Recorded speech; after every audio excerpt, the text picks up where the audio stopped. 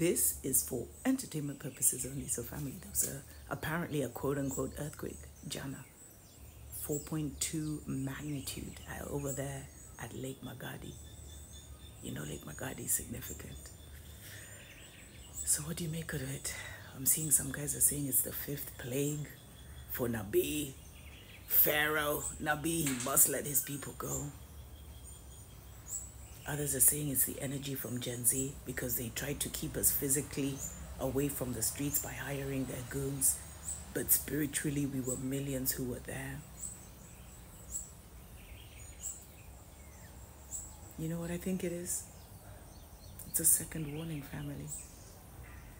From the Most High to Nabi and all the puppet masters to let my people go. Remember when I started this channel, I was telling you guys about something being off about Nairobi? Some guys were like, Ni stories are Jabba, but so many people understood. Then next thing, Parliament is going down and the altar is broken. I told you, whatever entity or energy has been behind the curtain ruling this nation, being fed blood sacrifices, the sacrifices of innocent youth and innocent children, will have to reveal himself. There's an American researcher who was saying, Ati, she did some research and she discovered that the devil was not in hell, but the devil was in Kenya.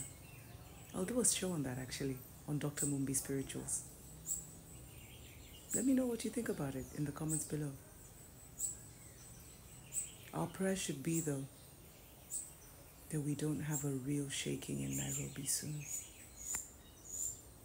Because when our energy shakes, we are so connected to Mama Earth family.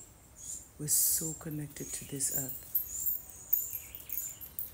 When she shakes, it's often because we're in such a rage inside.